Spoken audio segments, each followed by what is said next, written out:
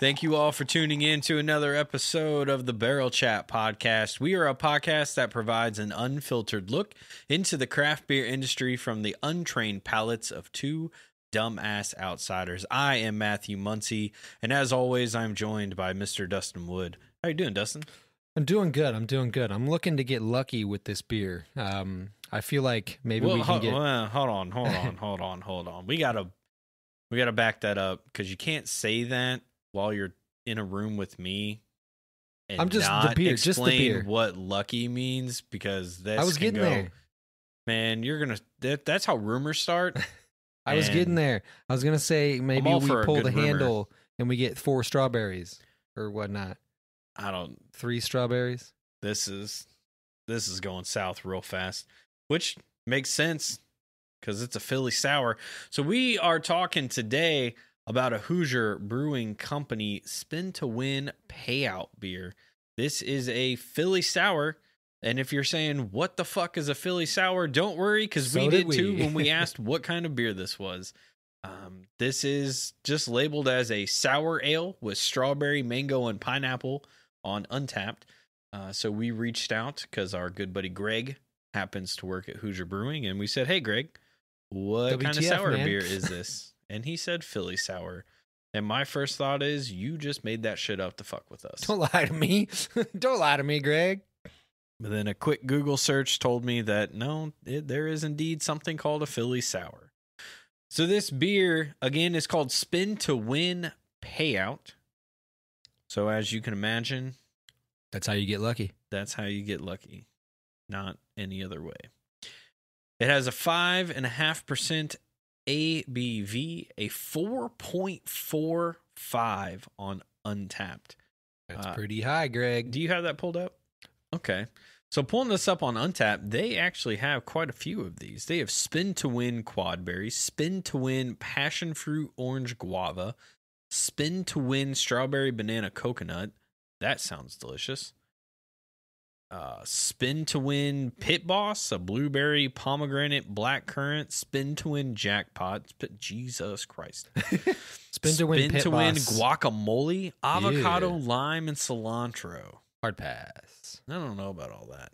Well, you it tastes like soap to you, right? Yeah, I, I actually that would be interesting since uh yes, to me cilantro I have that uh gene, that allergy where cilantro tastes like dish soap. So that would actually be interesting to know what that tastes like.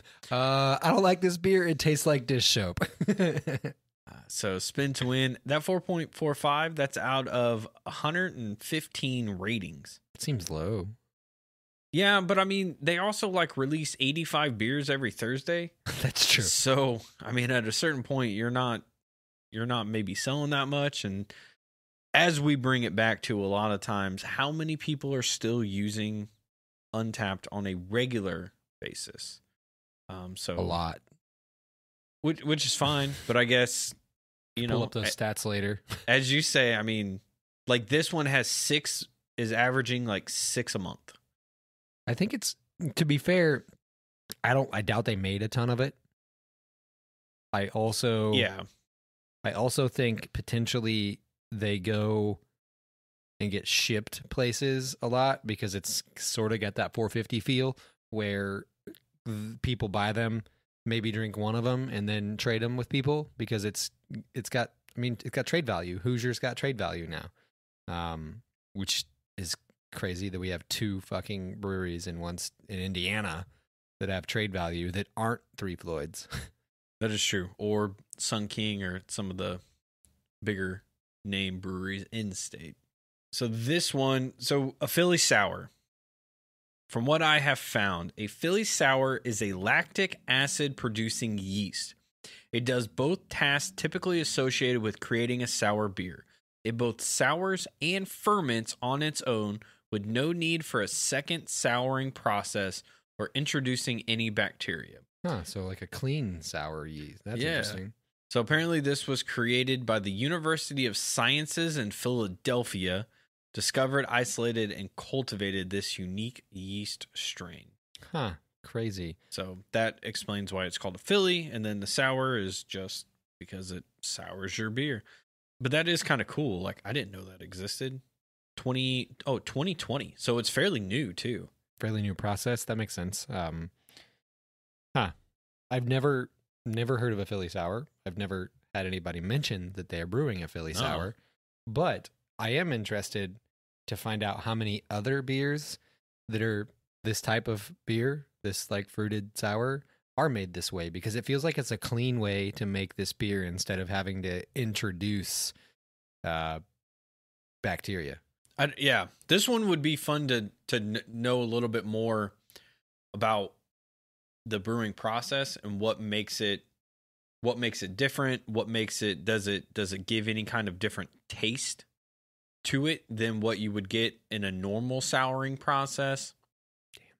That kind of stuff. Um just because there's not really much info here on like what you're supposed to really taste, which for a lot of these, this one included, uh, there's not going to be much beer flavor to it because it's a heavily fruited beer. Yeah, heavily fruited beer.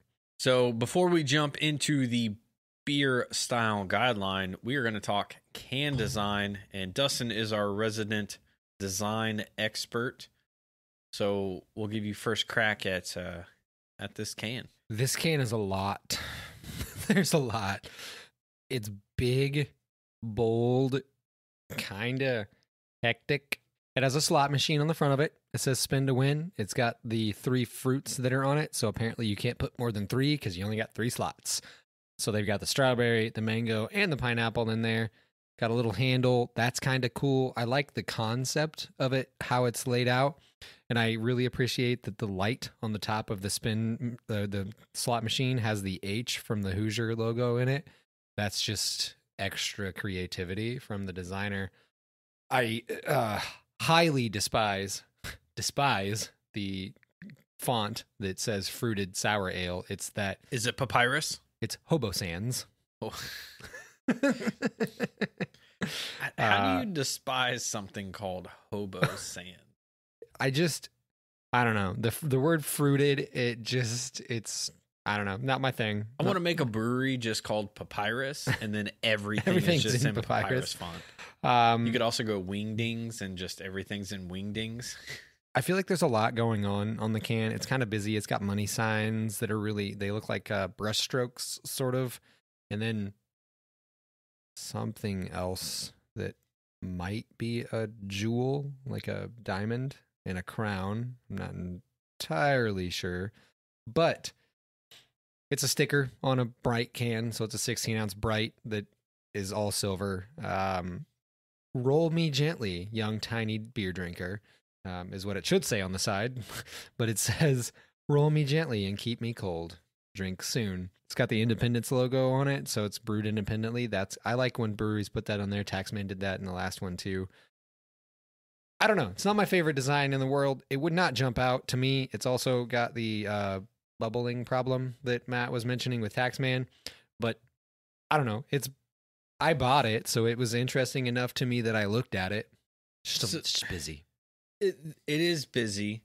There is a weird contrast because the slot machine is like perfect artwork, Mm-hmm. and then the rest of it looks like a five year old drew it, and then they use that. So there's a bit of a contrast there that I don't know, just seems odd, like from a design choice. And now again, the, the, it's a little pixelated on the yellows and stuff. Like, not terribly, but Yeah, there's just th- there's something that it just doesn't flow together. Like it, it looks like they took a background and then just took really nice clip art and put it on there. And that, you know, from a design perspective, I'm not a designer. I didn't go to design school, but something about it just doesn't sit right with me. Is it going to pop on a shelf? I would say yes. People would see this and at least go look at it. I think one problem is it doesn't really tell you what to expect. It says a fruited sour ale and then tells you what's in here. But like not kind of what fruited sour, like is this a Berliner? Is it a lambic? Is it a Philly sour? Like turns out it's a Philly. yeah, like what am I drinking here? And the you know, it's on the side of the can.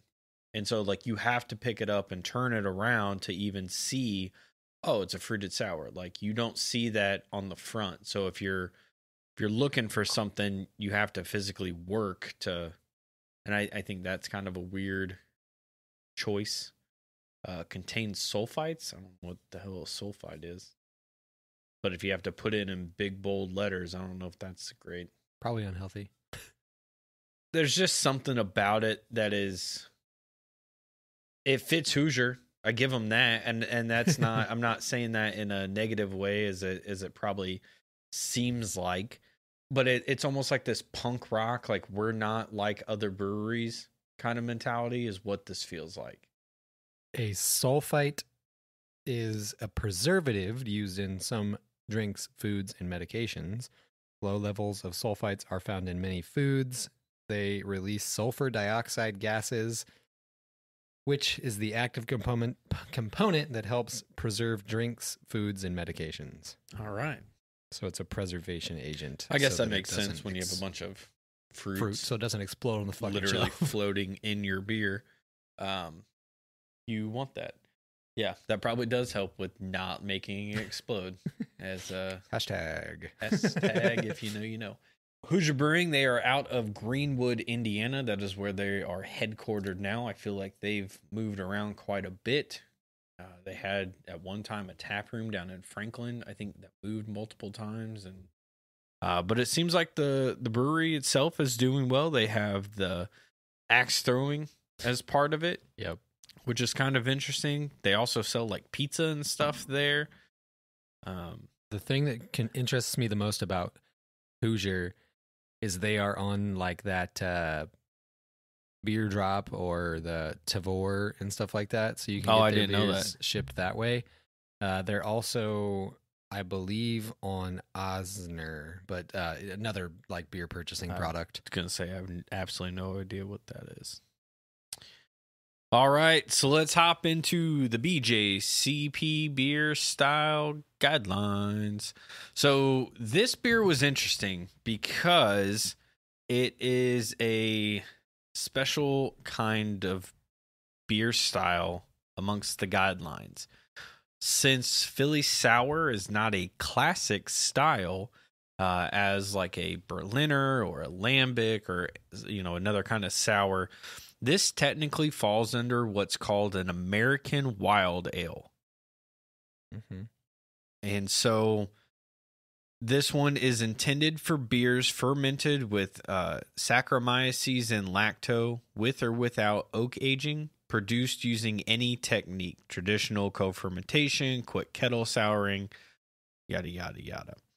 Um, I don't know what kind of strain Philly sour is technically.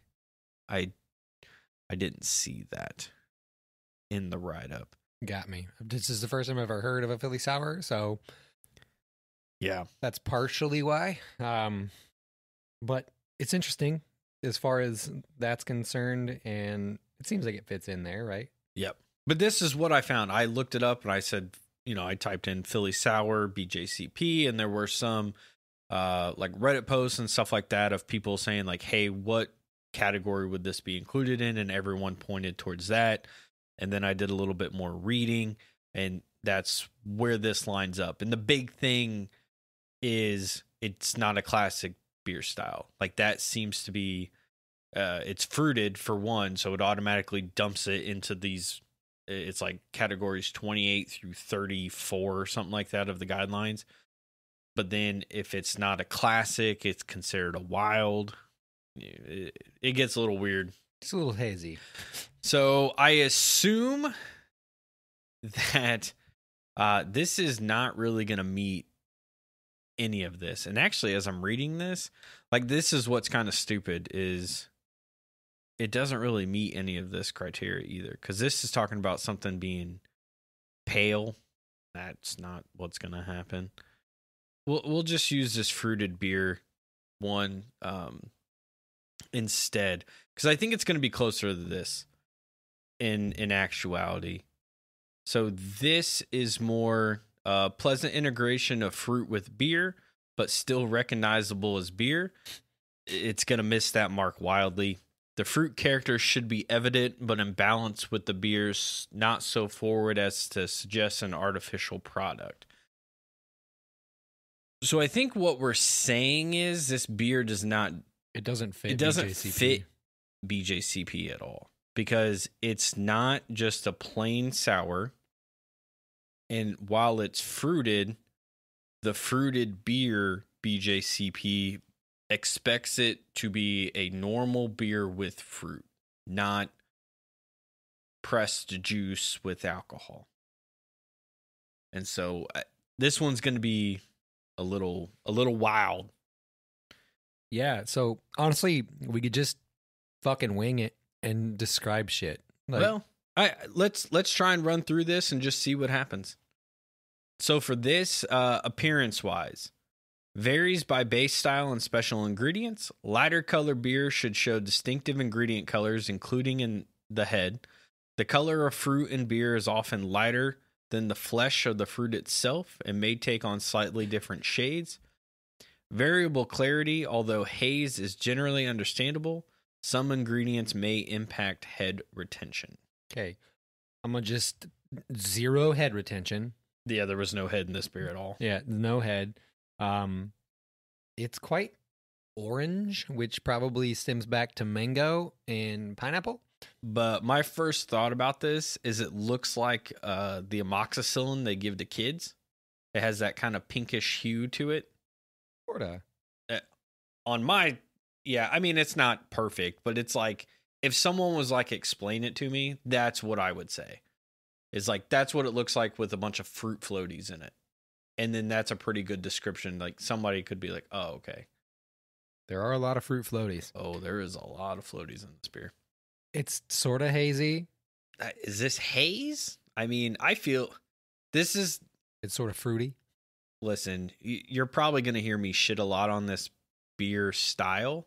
And I know that everybody and their fucking brother loves this shit, this and 450. And yes, it, you know, spoiler alert, it does taste good, but this, this just isn't, this just isn't fucking beer, man. Like, and that's not to shit on anybody because everyone's got what they love and stuff, but like, come on. Like, this looks literally like someone pressed juice. No, it looks like we're drinking a like What's those like healthy? They make like tomato juice, vitamin. Fuck, what's it called? Are you talking about like uh It's V8? V eight. That's what this reminds me of. Is like it a looks V8. like a V8 Fusion. Yeah. Which is their fruit version. Yep. Like that's kind of what this makes me think of. Is like I'm drinking So something You're saying like this that. is healthy. uh, sure. There's fruit in it. There's probably more fruit than alcohol. So appearance wise, I mean, I I think it's ugly. To be Yeah. honest, like if you put this in front of me, and It's like a a blind taste test, it doesn't make me want to drink it. Like if this was just in a clear glass, no name, set next to everything else, like this is probably not the first one. You may pick it up to smell it first because you're kind of like, what the fuck is that? But you're probably not trying it first. is that beer? Yeah, exactly. It's like, are you fucking? Did you put V8 in front of me? What is this like a palate cleanser? Is this so I don't get drunk today? Yeah. So I don't know that it matches the appearance much. Nope, probably not. Aroma wise, uh, the fruit character should be noticeable in the aroma. However, some fruit have stronger aromas and are more distinctive than others. Allow for a range of fruit character in intensities from subtle to aggressive. Hop aroma may be lower than in the base style to better show the fruit character. The fruit should add an extra complexity but not be so prominent as to unbalance the resulting presentation. Okay. It's only fruit. Yeah, like I don't. There's nothing really s- sour smelling. There's no hop. It smells like a starburst. It smells like a pink starburst. Is what it smells like. It's a little uh tart Yeah, on the nose too. Like I get a little bit of the like tartness from what I assume is the mango and pineapple, mango pineapple papaya. it's like it smells very fruity. It smells delicious. it does. It it smells good. It makes you. It does make you want to take a drink. It does not, you know, make you kind of be like, well, I don't, I don't know about it all does that. not like smell it's very, like beer. yeah, it's very sweet. It's very uh, fruity. There's there's not much else to this. You, you don't smell any sort of beer There's no malts no- whatsoever yeah. in it at all. Like this is just heavily fruited. That's what it is. That's a fucking long description of flavor. Holy shit. Yeah, it's two paragraphs, which is a lot for the BJCP.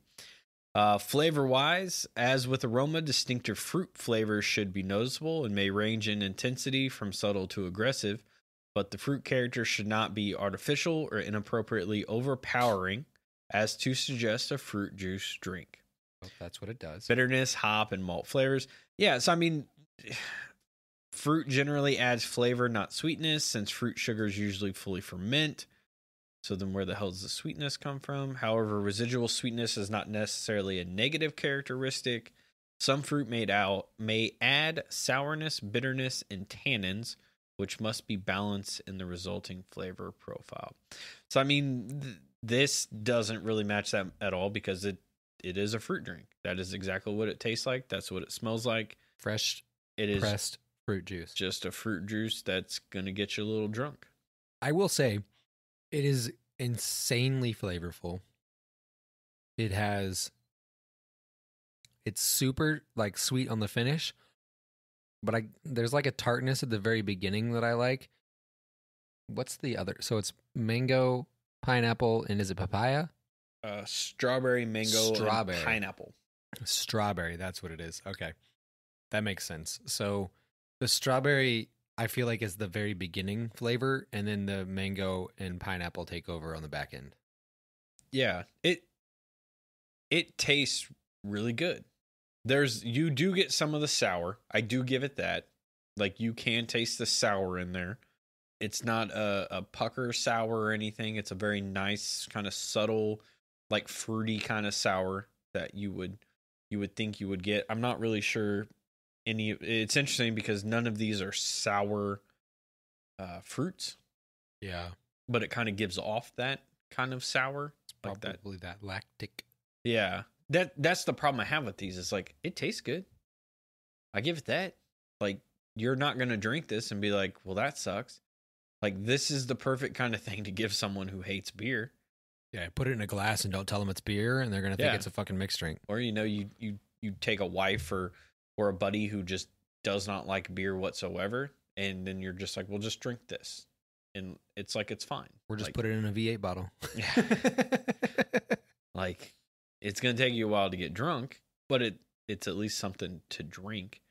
I just i have a hard time with these. They taste good. They're terrible looking. This one's definitely not pretty. and it there's just no beer quality to this whatsoever. But i i also understand why people like them i do not understand why it is a craze within this state.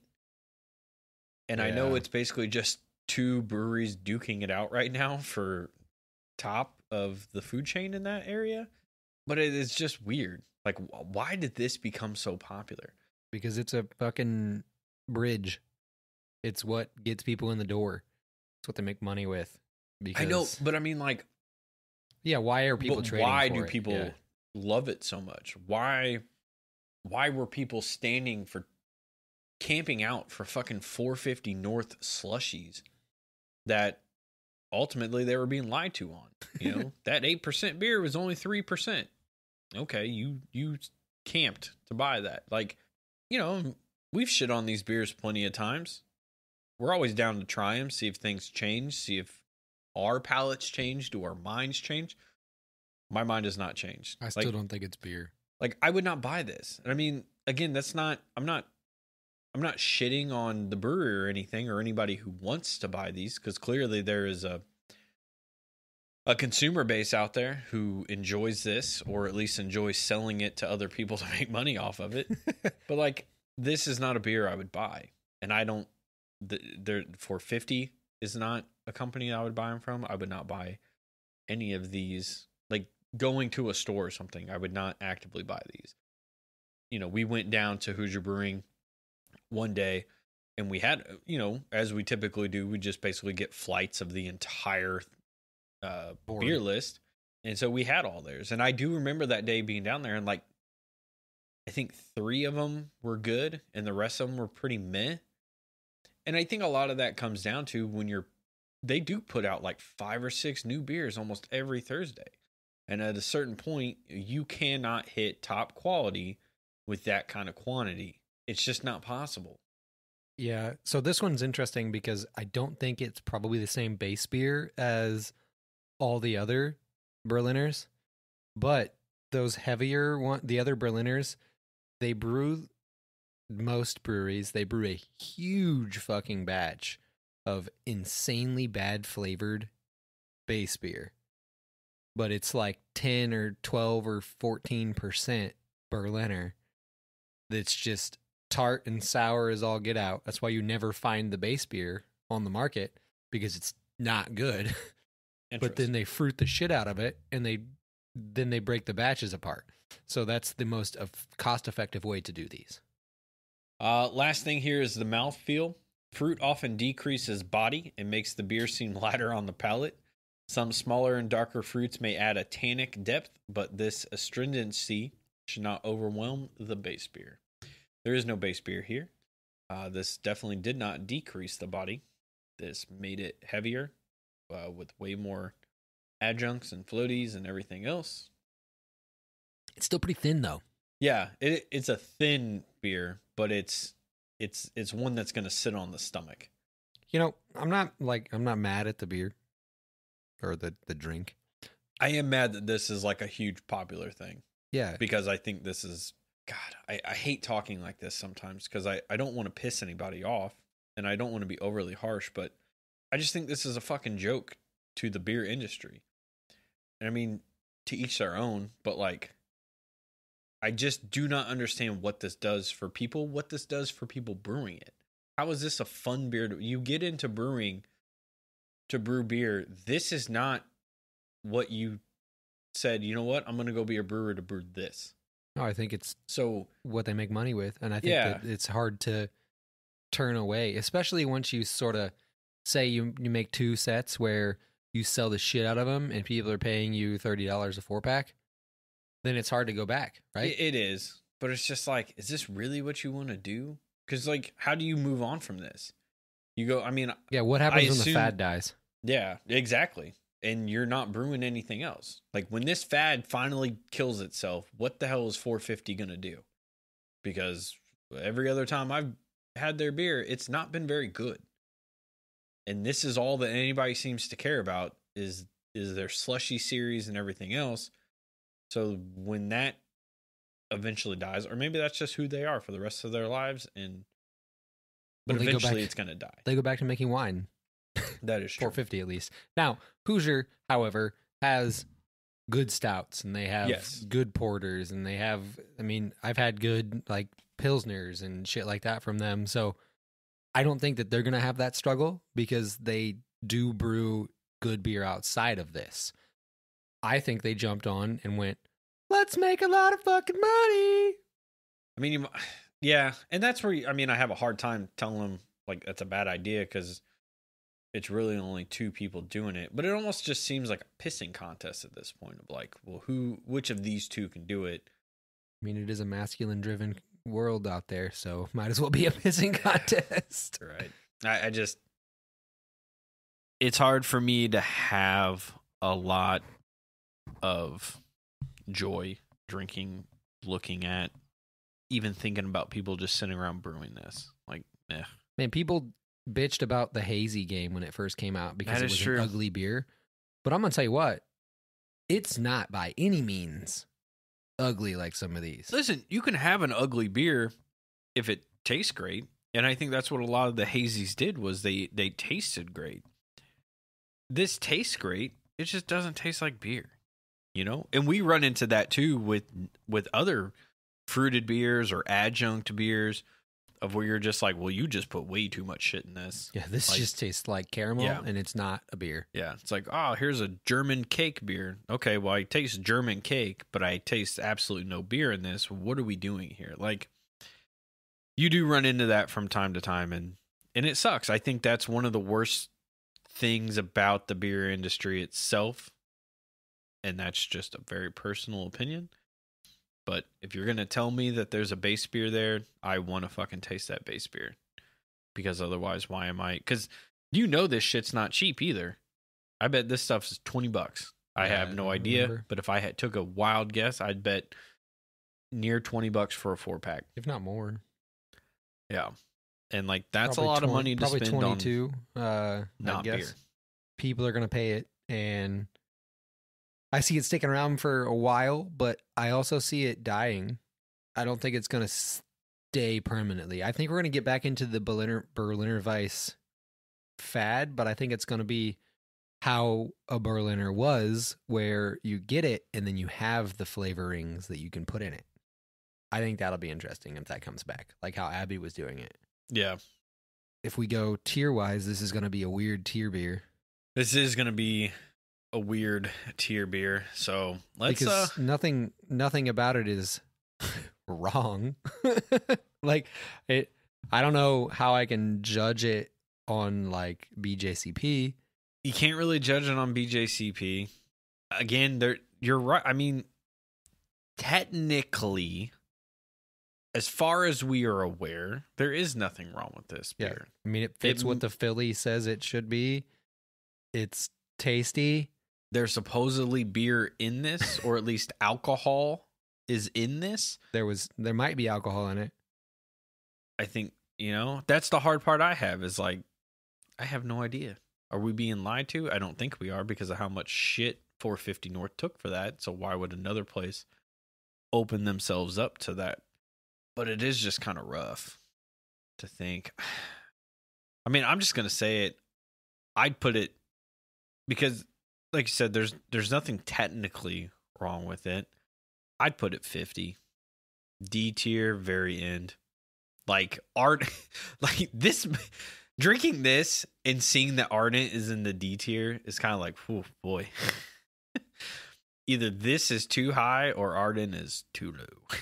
But ardent had problems. See and that's the problem too is ardent had problems but i'd still drink that over this so i think what what in what needs to happen with this and almost do we just say no no beer tier we Yeah. just leave it off because it's so well it doesn't fit the the it style just guys doesn't i mean it just doesn't fit anything and i think that's fair is that it's just a I think it's.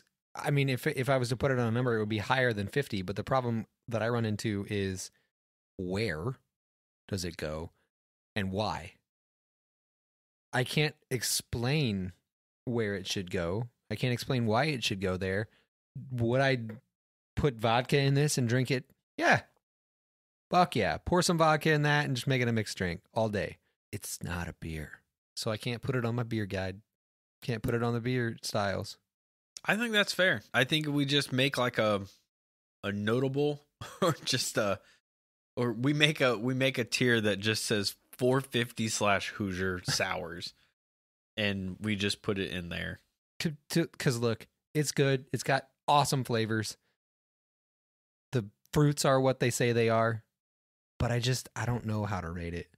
No, because I just don't think it's because I do think Ardent is where it needs to be, but it's hard to say that Ardent is only like five beers higher than this beer.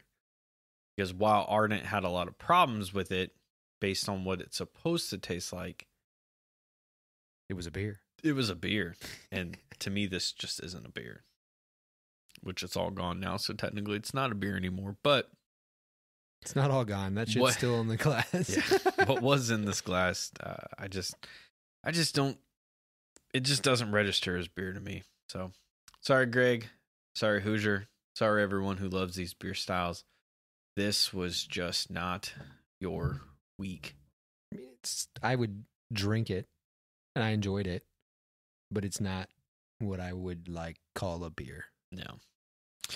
Uh, so you can follow us on Instagram. We are at Barrel Chat. Get on there, yell at us. Uh, tell, Tell us us that we is a were wrong. Tell us, yeah, tell us how. I mean, hey man, if somebody can explain to us why we're wrong, uh, please do. Uh, you know, we don't sit here and act like we're brewer brewer experts because we don't brew beer. Uh, we are just uh, two guys who like to drink beer and talk about it and as we've done that for a few years now, uh, and we've talked to brewers and stuff, you you kind of pick up things along the way that don't make you an expert, but make you just a tad bit more knowledgeable than uh, the casual consumer. That is it. Uh, so you can follow us on there. Uh, we do a lot of stories um, instead of posts. Try and keep the posts to being about the episodes themselves, and then the stories when we're out and about drinking or drinking at home, just kind of different stuff that we have. If you do enjoy our show, make sure you leave us a rating on whatever podcast app you use. Uh, five stars, obviously, the best, and that does help us show up in any sort of algorithms that they have when it comes to, hey, maybe you should listen to this podcast because other people have, and it's all you know beer podcast related, food related stuff like that. Um, if you do have a specific beer that you would like us to review, you can drop us a DM on Instagram or email us barrelchatpodcast at gmail.com. Uh, all we ask is try to make it something that we can easily obtain. So, uh, something that is either from Indiana, um, if it's an outside beer, something that you know we could go to Total Wine or Meijer or something like that to pick up. Uh, really helps if it is a beer that you have that you would like us to try. Maybe it's a super rare beer or uh, just an extra beer that you have from vacation and you really like the brewery. We would be glad to try that, even pay you for it. Um, just again, hit us up on Instagram or via email and let us know, and we can have those conversations. And for that, this is going to end our show. So we will see you all next week. Cheers. Cheers.